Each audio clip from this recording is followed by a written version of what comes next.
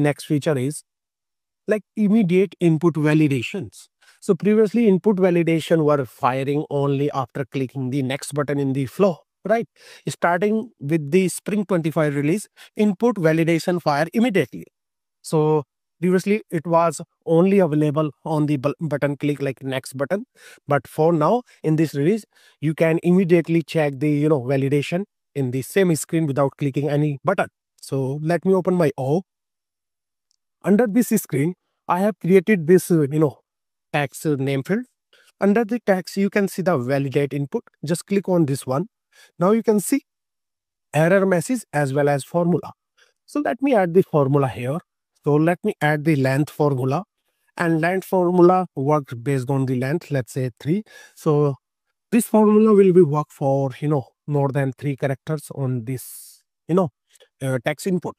So this is my formula error message. Let me add the error message like please enter more than three characters, something like that. Okay, click on done, click on the save. And once you click on the save, now you can debug your flow. Just click on this debug one. And in the new window, you can see this, uh, you know, uh, pop up and just you can debug this flow. Just click on the run. And now please focus on this one, guys.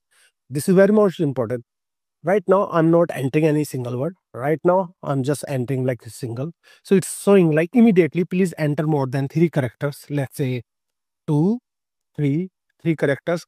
It's showing like more than three. So once we trying to enter like more than like uh, three characters uh, this error message is removed by default. So now you can see four characters. If you remove something immediately you can see the please enter more than three characters or something like that right?